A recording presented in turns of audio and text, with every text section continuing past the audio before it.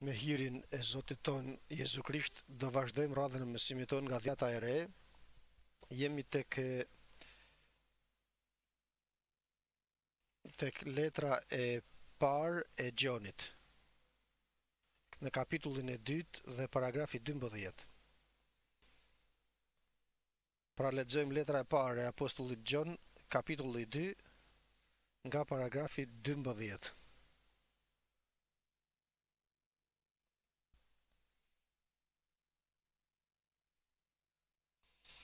Djema ju shkruaj Sepse mëkatet ju janë falur nëpërmjet emrit të Tij. Etër ju shkruaj sepse ju e keni njohur atë që është që nga fillimi.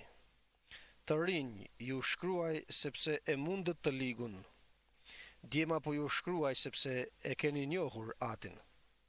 Etër ju kam shkruar sepse e keni njohur atë që është nga fillimi. Të rinj ju kam shkruar sepse jeni të fortë dhe fjala e Perëndisë qëndron në ju dhe sepse e mundët të ligun. Mos e doni botën as gjërat që janë në botë, në qoftë se ndokush do botën dashuria e Atit nuk është në te. Sepse gjithçka që është në botë, lakmia e mishit, lakmia e syvet dhe krenaria e jetës nuk vjen nga Ati por nga bota. Dhe bota kalon me lakminë e saj, por ai që bën vullnetin e Perëndisë mbetet përjetë. Fëmijë është ora e fundit dhe sikurse e dëgjuat antikrishti duhet të vijë dhe tani janë shfaqur shumë antikrishtë prej nga e dimë se është ora e fundit. Mes nesh dolën por nuk janë nga tanët, sepse po të ishin nga tanët do të kishin qëndruar me ne, por kjo ndodhi që të dalë se nuk janë të gjithë nga tanët. Por ju keni vajosjen nga i Shenjti dhe i dini çdo gjë. Nuk ju shkrova juve sepse nuk e njihni të vërtetën por sepse ju e njihni dhe sepse asnjë gënjeshtër nuk del nga e vërteta. Kush është gënjeshtari veçse ai që mohon se Jezusi është Krishti? Antikrishti është ai që mohon Atin dhe Birin. Kushdo që mohon Birin s'ka as Atin, kushdo që njeh Birin ka edhe Atin.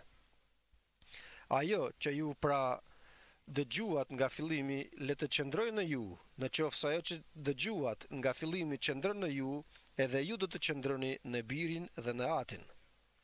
Dhe ky është premtimi që Ai na bëri jetën e përjetshme. Amen Fjalës të Zotit. Në dymbëdhjetën,, trembëdhjetën dhe paragrafin katërmbëdhjetë flet për moshat frymërore të njerëzvet në kishë, sepse në kishë të gjithë nuk i kemi të njëjtat të njëjtën moshë frymërore, Për këtë arsye përshkruan karakteristikat e mira dhe të bekuara që ka çdo njeri në çfarëdo lloj moshe frymërore që gjendet. Përveç të parit që flet djema. Djema, kur flet djema do të thotë për të gjithë. për të rinjtë, për të moshuarit, për të vegjlit, për të mëdhenjtë, ato që ecin mirë, ato që nuk ecin mirë, ato që duhet të pendohen, për ato që pendohen, për ato që janë të bekuar shumë, e të gjithë, për të gjithë njerëzit, duke thënë, Djema ju shkruaj juvet, dhe kjo është një letër, E shkruajtur nga Gjoni në nëntëdhjetën pas Krishtit, dhe e theksoj në nëntëdhjetën pas Krishtit, sepse u drejtohet përfundimisht jo kishës së parë apostolike, por pas kishës së parë apostolike, vazhdimit pra të kishës së parë apostolike, dhe veçanarisht i drejtohet kishës së fundit apostolike. Për këtë arsye, të gjitha letrat e Gjonit, sikurse dhe zbulesa e Gjonit, që u shkruajt pas nëntëdhjetës, dhe mundësisht nëse nuk bëj gabim zbulesa u shkruajt në nëntëdhjetë e katërtën. Përse?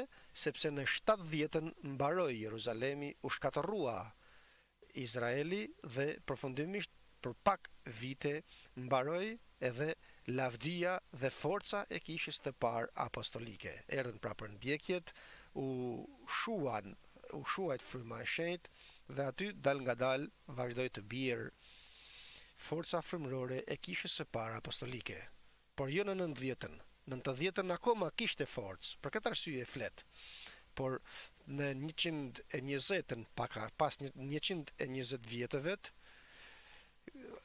pasi kaluan nxënësit e apostojvet dhe nxënësit e nxënësve të rreth tre breza pra, pasi kaluan, atëherë vazhdoi rënia, sikurse vazhdoi të shuhet fryma e shenjtë ku deri në njëqind e gjashtëdhjetën apo njëqind e shtatëdhjetën pas Krishtit nuk kishte më dhënti të Frymës të Shenjtë, as profeci nuk kishte, dhe përfundimisht erdhi forca e Frymës të Shenjtë sipas fjalës të Perëndisë në kishën e fundit apostolike sikurse është e shkruajtur dhe kështu mbi shërbëtorët dhe shërbëtoret e mia do të jap nga Fryma ime dhe do të profetizojnë.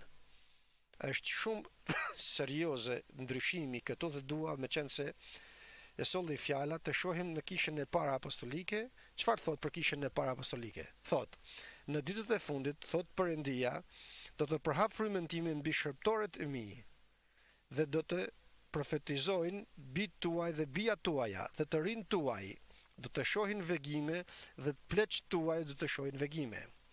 Kjo Kishë e parë apostolike kishte një pushtet dhe një mision, të predikojë Ungjillin në të gjithë faqen e dheut sikurse është e shkruajtur se e, e, misteri është i madh, Perëndia u shfaq në mish, pra fjala e Perëndisë u bë mish, i cili lindi nëpërmjet frymës së shenjtë dhe Maries së Virgjër. Pastaj, me ringjalljen e tij, u ringjall, sepse nuk u gjet mëkat në të dhe djalli u u shkatërrua, i theu kokën dhe nuk mundi që ta mbante në vdekje, por ditën e tretë Ati Perëndi e ringjalli. Pastaj, U shfaq tek engjëjt. Të parët që e panë të ringjallur Jezu Krishtin ishin ato engjëjt që i dërgoi Ati për të predikuar, ishin të parët që dëshmuan për ringjalljen e Krishtit tek nxënësit. Por pastaj këtu vazhdon kisha e fundit apostolike, U predikua në. të gjitha kombet, nga kisha e parë fillimisht, por tani veçanarisht pas shtatëdhjetës që nuk ekzistonte më populli i Izraelit, predikimi i Ungjillit u bë në të gjitha kombet e tjera me punëtor të parë Palin, ku misioni i tij ishte ky, të predikojë Ungjillin tek kombet, por aq më tepër në kishën e fundit apostolike të predikohet Ungjilli në kombet dhe të profetizojnë shërbtorët dhe shërbtoret sikurse thamë se Zoti po vjen shpejt. Të parapërgadisë domethënë sikurse Gjon Pagëzori të përgadisë rrugën e Zotit.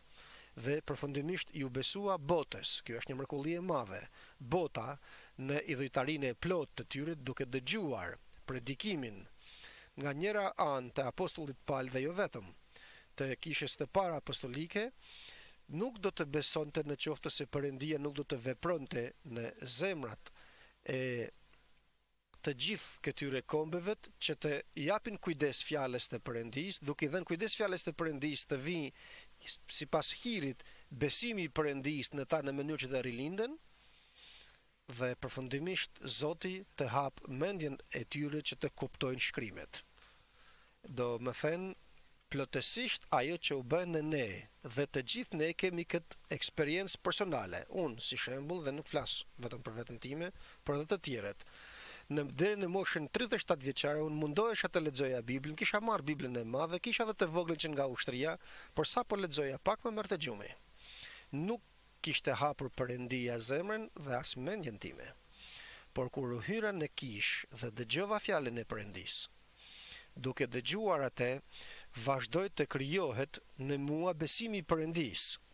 Dhe duke vazhduar të krijohet ky besim në zemrën time, merrja kaseta, e hapja fjalën e Perëndisë, më kujtohet, nga ditët e para e bëja këtë të besimit, lexoja dhe dëgjoja kasetën. Më kujtohet, librin e parë që lexova ishte Zbulesa dhe kur e mbarova Zbulesën, isha rilindur tanimë. Kjo është vepra e Perëndisë, pra u besua në botë dhe bota është nën pushtetin e djallit, sepse princ Perëndi dhe Mbret i kësaj bote është Djalli, dhe nuk mundet askush të çlirohet nga duart e Djallit në qoftë se Jezu Krishti nuk ka për ta lidhur Djallin dhe të çlirojë kë?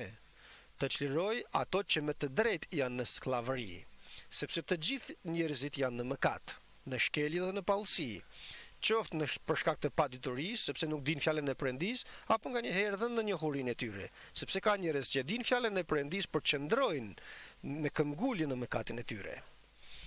Kështu pra, fjala e Perëndisë drejtohet fillimisht tek të gjithë, në kishë tek të gjithë ne duke na thënë se shkruaj kush Gjoni të shkruaj po Gjoni por në të vërtetën Ati Perëndi nëpërmjet Jezu Krishtit dhe Frymës të Shenjtë me dorën e Gjonit shkruajtën sepse çdo shkrim është i frymëzuar nga Perëndia dhe i dobishëm i gjithë shkrimi pra është i shkruajtur nga dora e Perëndisë. Veçanarisht ungjilli i Jezu Krishtit, i cili është forca e Perëndisë që shpëton këdo që e beson. Atëherë pra besimi është dhuratë e Perëndisë. Nuk mundem unë të them se do të besoj, dhe po ta them, nuk bëhet. As nuk mundem të them atij tjetrit beso ti. Eh, mirë, kujdes se do të besoj. Por, në qoftë se lutem, dhe them o Zot hapja zemrën sot të t'i japë kujdes fjalës të Perëndisë sikurse erdhëm të gjithë ne nga Perëndia për të dëgjuar fjalën e tij na hap zemrën që t'i japim kujdes fjalës të Perëndisë në mënyrë që t'i besojmë fjalës të Perëndisë në mënyrë që në vazhdim Jezu Krishti të hapë mendjen tonë për të kuptuar fjalën e Perëndisë dhe kështu duke besuar dhe duke e kuptuar Fjalën e Perëndisë të mundemi të ecim sipas vullnetit të Perëndisë është i mirë dhe i përkryer, duke e ditur se kush është mëkati, ç'është shkelja, ç'është paudhësia dhe se cili është vullneti i Perëndisë, i miri dhe i përkryeri. Dhe kështu pra apostulli Pal, duke iu drejtuar të gjithë vetë ne, më falni apostulli Gjon, thotë, Ju shkruaj, djema, sepse, Mëkatet ju janë falur nëpërmjet emrit të Krishtit. Sot jemi të gjithë këtu sepse Perëndia e përsëris dhe një herë tjetër e hapi zemrën tonë dhe një moment i dhamë kujdes fjalës të Perëndisë. Duke dëgjuar fjalën e Perëndisë erdhi besimi, dhuratë dhe hiri i Perëndisë në ne dhe ati Perëndi na rilindi në krijesa të reja, Jezu Krishti pastaj ani e hap vazhdimisht mendjen tonë për të kuptuar Shkrimet dhe aq më tepër ku duke kuptuar Shkrimet dhe duke iu bindur Shkrimeve dhe duke iu bindur Fjalës të Perëndisë dhe duke kërkuar Fjalën e Perëndisë marrim edhe forcën e Frymës të Shenjtë dhe kështu të gjithë jemi të mësuar nga Fryma e Shenjtë sepse vajimi Është Ai që na drejton në çdo të vërtetë dhe nuk është nevoja më të na mësojë dikush tjetër, sepse këtë vajim të Frymës të Shenjtë që është e vërteta, do t'ju mësojë në të gjitha gjërat vullnetin e Perëndisë dhe do t'ju japë edhe forcën që të qëndroni në Fjalën e Tij. sikurse edhe dëshirën edhe vullnetin në bijt e perëndisë veprim e bën perëndia veprim këtë në ne çfarë vepron domethënë në ne vullneti i tij bëhet vullneti im vepra e tij bëhet vepra ime dhe tjetra edhe vullneti im bëhet vullnet i tij edhe vepra ime bëhet vepër e tija dhe më jep mundësinë që të bëj vullnetin e Tij, që të jap shumë fryt dhe fryti im të jetë i qëndrueshëm për lavdi dhe nder të Perëndisë. Atëherë pra duke u drejtuar tek të gjithë ne fjala e Perëndisë na thotë, Po ju shkruaj, o bijtë e mi, sepse u falën Të gjithë vetë ju mëkatet tuaja, sepse besuat në emër të Krishtit. Sikurse është e shkruajtur, Kush ka për të thirrur emrin e Krishtit ka për t'u shpëtuar. Dhe kur Zoti na jep besim, çfarë bën me besimin? Me anë të besimit na zbulon emrin e Krishtit. Dhe dua gjithashtu të theksoj edhe një herë tjetër akoma, sipas mendimit tim të pavlerë, ku Është unë mendoj dhe kështu kam kuptuar se cili është urdhëri i Perëndisë. Një është urdhëri i Perëndisë, një është urdhëri i Jezu Krishtit. Ky është urdhëri i Perëndisë, të besojmë në emër të Birit të Tij Jezu Krisht, sepse është emër mbi çdo emër. përpara të cilit do të gjunjëzohet çdo gju qiellor, tokësor dhe nëntokësor, dhe çdo gjuhë do të rrëfejë atë se është Zot, dhe kush do të thërrasë emrin e Krishtit ka për t'u shpëtuar. Dhe çfarëdo që të kërkoni në emrin tim, thotë Krishti, Ati im qiellor do t'ua japë. Pra, është shumë e rëndësishme që t'i besojmë emrit të Krishtit. Ta besojmë. Domethënë në çdo vështirësi, por edhe në çdo bekim, në vështirësi themi o Krishti im më ndihmo, Krishti im më ndriço mendjen, Krishti im më mëso, sepse vetëm Ai është mësuesi im, edhe drejtuesi im. Krishti. Me gjakun e tij pastrohen mëkatet tona. Dhe njëkohësisht urdhëri i Perëndisë është, Bindjuni dhe në urdhrin e Krishtit që është, Duani njëri-tjetrin. Ja, ju jap një urdhër të ri, të doni njëri-tjetrin, por si ta doni, sikurse unë ju kam dashur. Pra, shumë serioze të duam njëri-tjetrin. Nga kjo do të njohin njerëzit se ju me të vërtetë jeni nxënësit e mi, kur të shikoni se doni njëri-tjetrin. Dhe kur them për njerëzit, nuk them për besimtarët, edhe këto, por këtu flas për njerëzit në botë, përjashta. Domethënë pra do të jemi me të vërtetë dritë të kësaj bote, kur të shohin dashurinë tonë. Do të jemi kripë e kësaj toke kur të shohin dashurinë tonë. Do të shohin veprat tona të mira dhe do të lavdërojnë Atin tonë qiellor. Dhe sikurse më kishte thënë dikur Zoti në fillim të besimit tim, Ti do të ungjillëzosh me dëshminë e jetës tënde. Shumë serioze kjo të dashur vëllezër dhe motra t'i nënshtrohemi urdhërit të Perëndisë ku është t'i besojmë plotësisht emrit të birit të tij dhe t'i besojmë urdhërit të Krishtit që është të duam njëri tjetrin tani të shkojmë në kategorinë tjetër ju shkruaj juvet etër sepse e njoftët që nga fillimin. Etërit janë të pjekurit, ose sikurse thotë fjala e Perëndisë, do ta lexoj nga brenda, thotë të përsosur. Është ushqimi i fortë ku sipas traditës të tyre i kanë gjymtyrët e tyre të stërvitura në mënyrë që të munden të dallojnë të mirën nga e keqja. Pra, në kishë ekzistojnë të përkryerit. Dhe pak përpara thotë diçka shumë serioze, thotë, Për sa i përket kësaj kohe që jeni ju tani në besim, duhet të ishit mësues, por përsosmëria e të shenjtërvet nuk mvaret edhe nga vitet ku edhe mvaret pak a shumë, por mvaret se sa je ti i përkushtuar. Dhe si përkushtohet njeriu? Përkushtohet me anë të Fjalës të Perëndisë dhe duke qenë i udhëzuar nga Fryma e Shenjtë. Dhe si drejtohet nga Fryma e Shenjtë njeriu? Udhëzohet në dhomëzën e tij të lutjes. Aty Këto studio dhe në këto qëndro dhe atëherë përparimi yt do të jetë i dukshëm tek të gjithë njerëzit dhe aty vazhdon njeriu të përkushtohet dhe të shkojë drejt përsosmërisë. Por edhe në dhomëzën e lutjes përsëri Fryma e Shenjtë e këshillon për çdo kërkesë të jetës të tij dhe aty kupton se cili është vullneti i mirë dhe i përkryer i Perëndisë. Dhe këtu ekziston edhe diçka tjetër që është shumë e rëndësishme ta shohim që thotë tek letra e Jakobit, Çdo gëzim tuajin, mendojeni vëllezër dhe motra, duke e ditur se prova e besimit tuaj vepron për durim, atëherë pra Perëndia do të sjellë prova, do të sjellë pikëllime, dhe këto prova, këto pikëllime veprojnë për durimin tonë. Përse? Që të na bëjë Perëndia të vuajmë? Jo sigurisht, por durimi juaj të ketë vepër të përkryer. sepse keni nevojë për durim në mënyrë që të bëni veprën e përkryer të Perëndisë dhe të mundeni të shijoni premtimet e bëra nga Ati drejt jush, dhe duke qenë të përkryer dhe të plotë duke mos patur asnjë të metë. Domethënë kur të vijë një provë, një vuajtje në jetën tënde, mos vazhdo të qash dhe të thuash, O Zot, më ndihmo, nuk e duroj dot këtë, por më mirë lavdëro Perëndinë, sepse këtë e lejoi Perëndia për të të përsosur. për të çuar drejt përsosmërisë, sepse pikëllimi vepron për durim, durimi vepron për vepër të përkryer, në mënyrë që njeriu i Perëndisë të bëhet i përkryer duke mos patur asnjë të metë në mënyrë që të jetë i plotë në frytet e drejtësisë.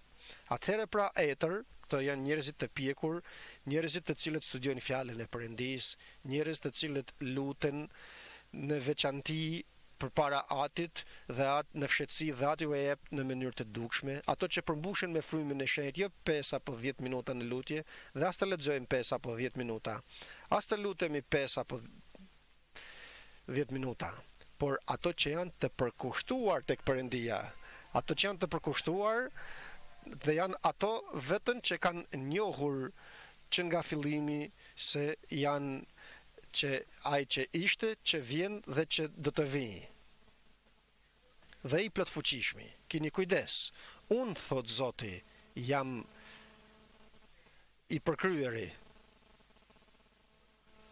unë jam i Larti, unë jam ai që banon në përjetësi dhe unë banoj në atë që ka frymën e përulur dhe zemrën e butë. Dhe kur në ne banon Perëndia, ku është dashuria e përkryer, pra Perëndia, atëherë rezultati kryesor i frymës së përulur dhe i zemrës të butë që e bën Perëndinë të banojë në ne, dashuria e përkryer e largon frikën. Njeriu i Perëndisë nuk ka më frikë. Jo se nuk ka frikë sepse është trim, jo nuk është kjo. Por dashuria e përkryer e Perëndisë e ndjek frikën larg. Dhe nëse don të frikësohet, nuk ka frikë, çfarëdo që të ndodhë, sepse Perëndia është ai që e largon frikën nga zemra e tij.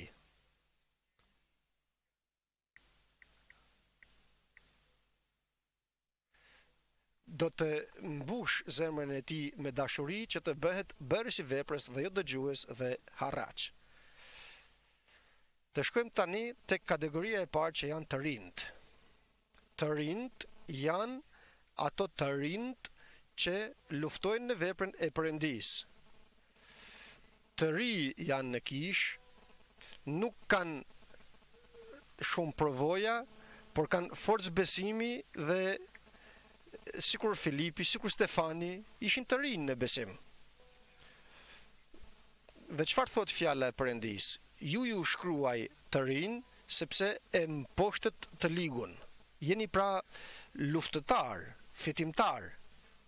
sepse kanë zell në zemrat e tyre, mbase nuk dinë shumë, mbase nuk kanë akoma dhe shërbesë apo dhunti të ndryshme, por janë të zellshëm në gjërat frymërore.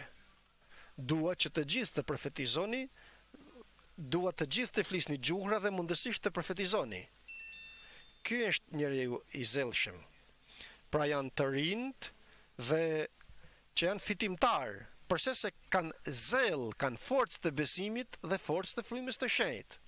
Kujtoni pak, kur ekzist, kur ishte nevoja që të krijohej, më falni që të zgjedhej, zgjedheshin për nevojat e kishës të rinjtë, kë zgjodhën? Zgjodhën më të shkolluarit? Jo. Më të vjetrit që ishin të rinj, të vjetër në besim dhe të rinj në moshë. Jo, jo, nuk zgjodhën këto, por zgjodhën ato që ishin të mbushur me Frymë të Shenjtë dhe me dituri. Të mbushur me Frymën e Shenjtë dhe mençuri, pra kishin frikën e Perëndisë, sepse fillimi i diturisë është frika e Perëndisë. Ishin të mbushur me Frymën e Shenjtë, të pagëzuar dhe përmbusheshin me Frymën e Shenjtë, dhe kishin frikën e Perëndisë, për këtë arsye dhe ishin të mbushur me dituri. Dhe rezultati është se janë fitimtar.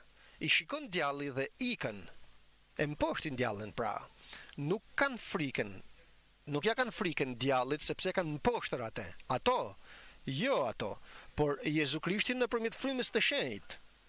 por për shkak se kanë zell në gjërat frymërore.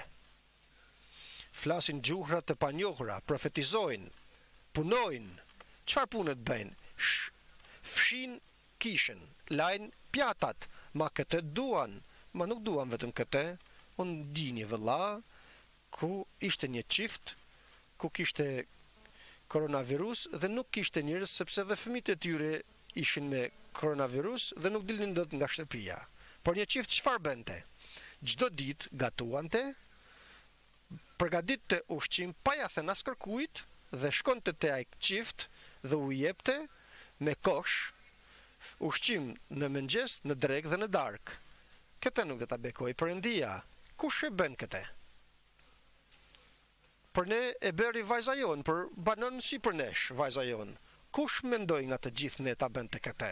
Por ja pra një i ri ku e mposht të ligun, sepse është i zellshëm në veprën e Perëndisë. Është i zellshëm në gjërat e Perëndisë. Shikon nevojat e vëllezërvet. Dhe shikon dy vëllezër dhe mundësisht të një farë moshet jo dhe të plakur fare, të cilët nuk kishin mundësinë as të hanë. Të dalin të blejnë. Dhe ai çift njëri gatuante dhe tjetri transportonte.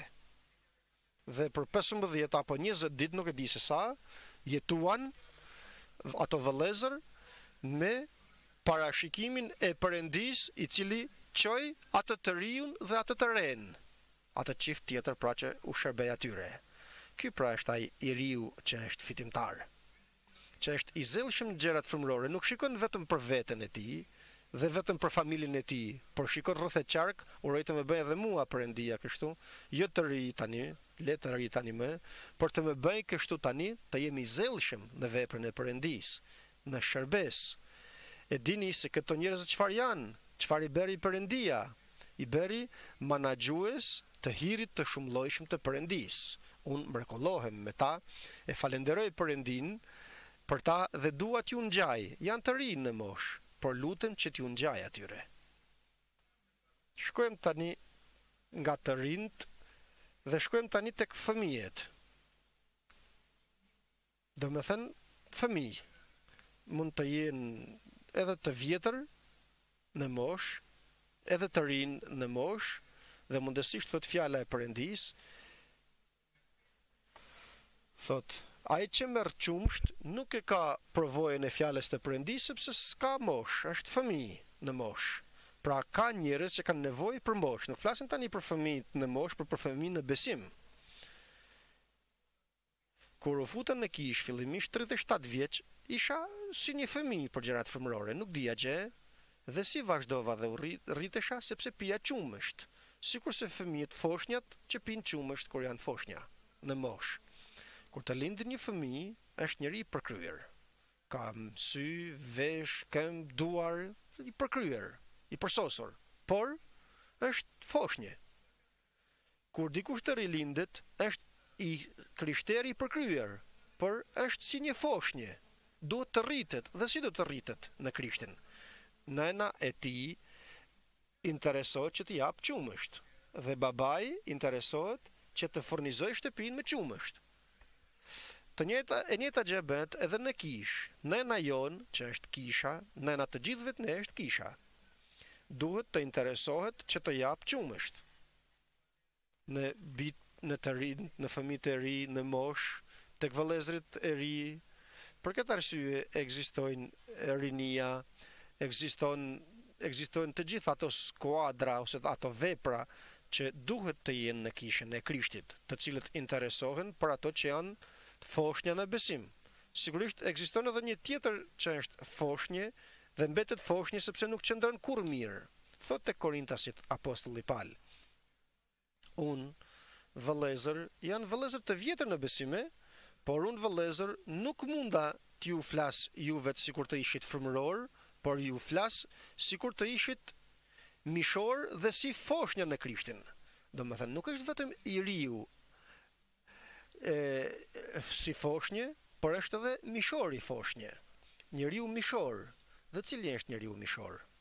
Është ai që ka smirë, është ai që ka herezi dhe nuk ka paqe në zemrën e tij. Ai nuk mund të ketë dituri nga lart. Është foshnje. dhe mundësisht të lexoj edhe një herë tjetër tek letra sikurse lexuam pak përpara tek Hebrenjtë që thotë ngaqë sa për sa i përket kohës që jeni në besim, ju jeni foshnja, ndërsa ju duhet të ishit mësues, por ju keni nevojë që t'ju mësojë dikush hapat e para të fjalës të Perëndisë dhe u katandisët që të keni të keni nevojë për qumësht si foshnjat dhe jo për ushqim të fortë, sepse kush pin qumësht është i paprovuar në fjalën e Perëndisë të drejtësisë, ngaqë është foshnje. Tani vjen një vëlla, një herë, dy herë, tre herë, nuk din nga këto gjëra, foshnje në besim, çfarë ka nevojë ai? Ka nevojë për qumësht, është i përkryer, ka këmbë, duar, veshë, Shpirt, frymë, por don qumësht.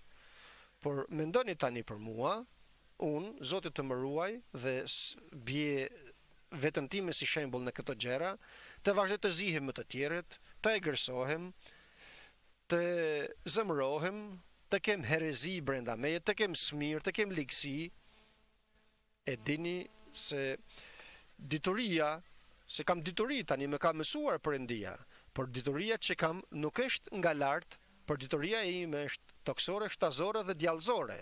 Kam nevojë përsëri për qumësht dhe jo për ushqim të fortë. Për ushqim bazë. Çfarë do të thotë qumësht? Do të thotë duhet të pendohem. Për këtë arsye marr si shembull gjithmonë veten time. Do të pendohem, do t'i kërkoj falje Perëndisë, do të kërkoj ndihmë Perëndisë të më ndryshojë, të më japë frymë, atë që thotë Krishti, Mësoni nga mua se kam frymë të përulur dhe frymë të butë dhe një frymë të qetë. duhet të më japë pra frymë të qetë, frymë të butë, në mënyrë që të mundem të vazhdoj nga fillimi, të bëhem si foshnjë përsëri. Po, por e di Fjalën e Perëndisë. Fjalën e Perëndisë e din, por nuk ecën sipas Fjalës të Perëndisë. Ma kam edhe Frymën e Shenjtë, po, por edhe nuk ecën sipas Frymës. Pra, duhet që të vazhdosh që nga fillimi, duhet të vazhdoj nga fillimi. Dhe më jep mundësinë Perëndia në dhomëzen time të lutjes, të vi në vete. Sepse në shumë jemi fajtor dhe duhet të pendohemi. Duhet. Të gjithë ne. Sepse ai që nuk pendohet, mban në kurriz një mëkat dhe mëkat mbi mëkatin tjetër dhe nuk ikën mëkatet e tija dhe mbushet shpirti dhe trupi i tij me mëkate, me herezi, me flliqësi, me zili, me ligësi, Zoti të na ruajë. Sekreti është mësoni nga mua se jam i butë në zemër dhe i përulur në frymë. Ky është sekreti dhe këtë mund të na mësojë vetëm Krishti dhe nga aty të vazhdojmë. O Zot të lutem më mëso që të të ngjaj, që të jem me zemër të butë dhe me frymë të përulur. Më mëso Zot të lutem. sepse atëherë do të vijë qetësia në zemrën tënde, ndryshe do të kesh e, tronditje, nuk mund të fletësh, flesh dot në darkë, do të shohësh dikënd dhe të thua po, nuk e shoh dot, nuk e duroj dot. E, nëse je kështu, atëherë ke nevojë për qumësht, jeni foshnje. Nuk e shkon mirë kështu. Për këtë arsye nga aty vazhdojmë vëllezër dhe motra. Atë që na thotë Krishti, si të parë, Nuk është që të duam njëri-tjetrin, e thotë më vonë pastaj. Kush dëgjon fjalën time dhe qëndron në të, atëherë me të vërtetë është nxënësi im, e thotë më vonë këtë. E dini si fillon kjo? Thotë, Zgjedha ime është e lehtë dhe mësoni nga unë, se unë jam i butë dhe i përulur në frymë. Nga aty do të vazhdojmë, në ditën tonë, në jetën tonë.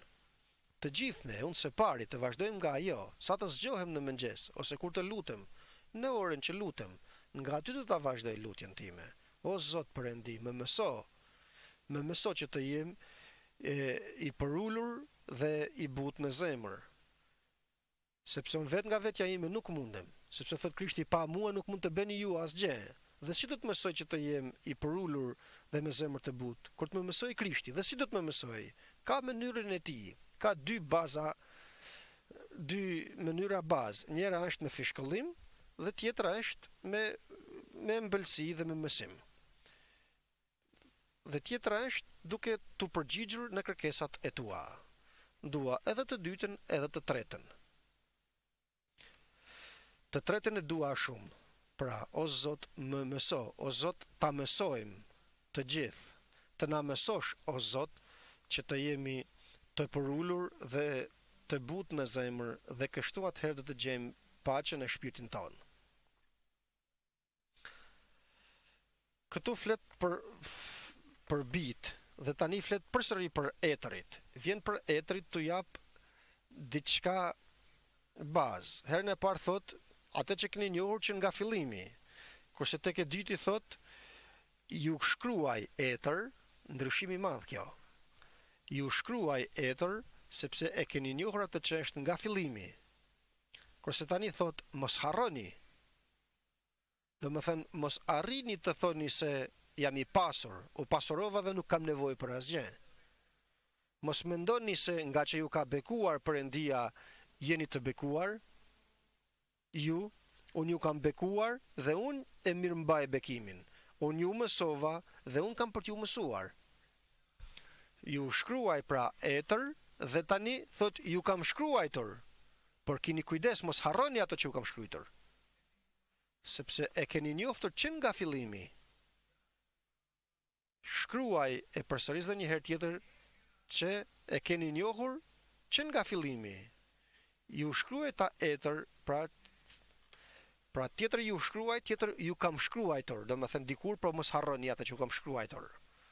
Mos u bëni sikur Diotrefi që doni të dilni të parët, mos mendoni se do të jeni komandadhënës, unë jam komandë, unë jap komandë, jo, nuk je të japësh komandë, por shërbëtor do të jesh. Nëse mendon se nuk je asgjë, atëherë mund të bëhesh edhe shërbëtor i mirë. por jo padron, pronar, vëllezër dhe motra, shërbëtorë dhe shërbëtore jemi, punëtorë të Zotit në kishën e Krishtit. Asgjë nuk jemi. Tjetër është pronari. Të tjerë janë bijtë e pronarit. Ne jemi shërbëtorë dhe shërbëtore që duhet të profetizojmë.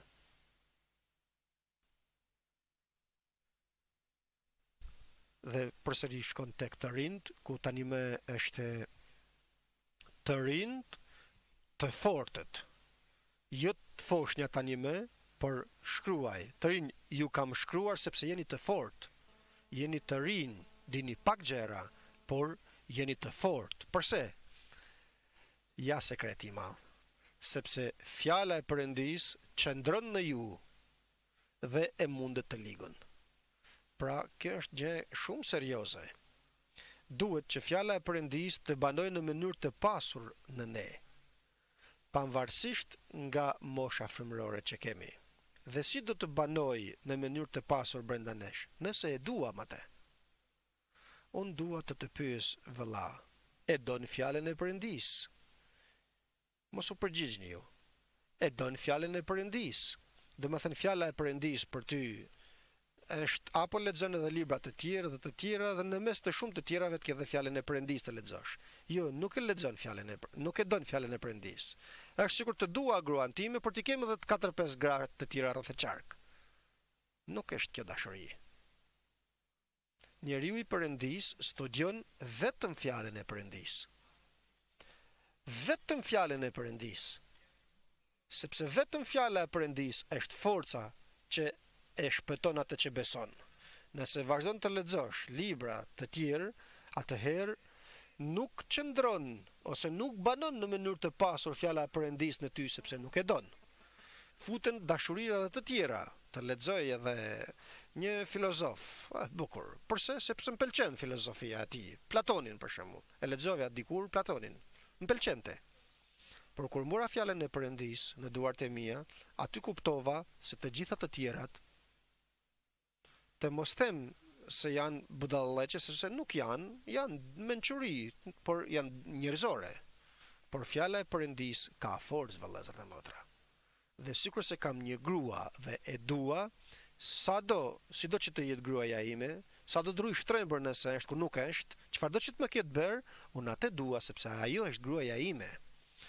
Kështu kam edhe fjalën e Perëndisë që e dua, vetëm fjalën e Perëndisë. Përse? sepse është me të vërtetë e dërguar nga Perëndia për të më dhënë forcë për shpëtim, sepse nëpërmjet fjalës të Perëndisë zbulesen, zbulohen të gjitha misteret e Mbretërisë së Qiejvet. Në fjalën e Perëndisë janë të fshehura të gjitha thesaret të diturisë dhe të mençurisë dhe të njohurisë. Për këtë arsye e dua fjalën e Perëndisë. Çfarëdo libri që të më japësh, çfarë do të më ofrojë? Çfarë do të më japë çdo libër tjetër? Kotësi e kotësive gjithçka e kotë. Kurse fjala e Perëndisë më ofron, më jep, më jep gjëra, të gjitha, sepse në fjalën e Perëndisë janë të fshehura të gjitha thesaret e diturisë dhe të mençurisë, sepse fjala e Perëndisë është forca e Perëndisë që shpëton atë që besojnë. Fjala e Perëndisë është ajo që zbulon misteret e mbretërisë së qiejvet. Në fillim ishte fjala. Të gjitha nëpërmjet fjalës të Perëndisë u bënë, nuk u bë asgjë nga ato që u bënë pa e patur bërë fjala e Perëndisë. Pra, e kuptoni çfarë do të thotë fjalë e Perëndisë dhe se përse duhet të banojë në mënyrë të pasur në zemrën tonë. Unë kështu e kuptova.